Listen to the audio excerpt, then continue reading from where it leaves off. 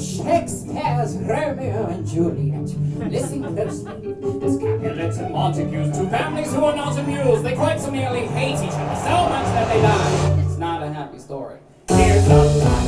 First the die Mercutio, then there's Juliet. He gets killed by Romeo, Sir Count Paris. He's in love with Juliet, she's the line. That we never until Mercutio and Romeo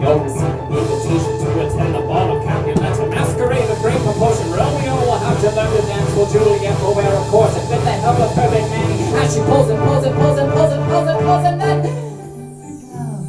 at first sight.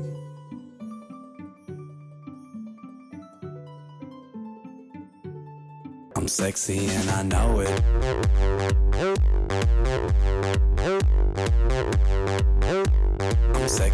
And I know it.